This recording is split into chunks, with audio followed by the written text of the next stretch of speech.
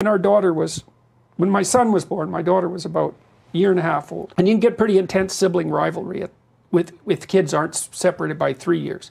Doesn't mean you should separate them by, by three years, but but because the older kid is still pretty dependent. So you got to watch that. So the first thing we did was we talked to her about the new baby that was coming, and we told her that that was going to be her baby, you know, as well as our baby. That's your baby. And then we taught her to get a hug, and we had her act that out. It's like, okay, when when the new baby comes, there's going to be times when your mom is preoccupied. You got to say it in a way a three year old or one and a half year old, something like that, was one and a half, can understand. And that means acting it out and playing, right? Like pretend play.